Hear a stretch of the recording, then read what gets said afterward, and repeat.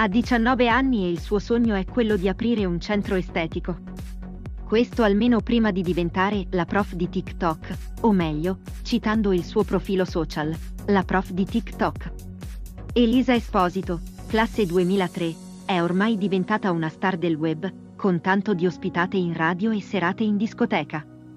Tutto grazie all'idea di insegnare sui social il corsivo, la lingua caricatura nata per imitare la parlata cantilenata delle ragazze milanesi è finita per diventare un fenomeno social a tutti gli effetti. Buongiorno alunni, benvenuti nella vostra prima lezione di corsivo. Con i suoi oltre 800.000 follower su TikTok, Elisa Esposito è diventata nelle ultime settimane un volto noto, o meglio, una voce nota.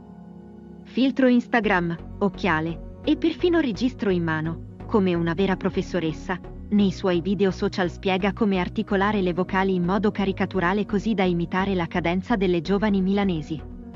Ha iniziato a registrarli nel luglio 2022 dopo che molti le avevano fatto notare il suo singolare modo di parlare. In pochi mesi i suoi contenuti sono diventati virali, facendo conquistare alla ragazza migliaia di nuovi follower. Ma il web sa essere anche molto duro, Nell'ultimo video caricato sul suo profilo TikTok non ci sono né occhiali né vocali strascicate, ma solo Elisa che chiede tregua, dopo i tanti insulti e le diverse minacce ricevute negli ultimi giorni. Complice dell'accanimento mediatico la gaffes della ragazza ai microfoni di RDS, quando nel tentativo di leggere in corsivo la Divina Commedia ha ammesso di non conoscerne l'autore. Ma chi è davvero la prof di TikTok? Nata e cresciuta a Milano. Prima di avventurarsi nel mondo del corsivo, Elisa ha studiato in una scuola di estetica.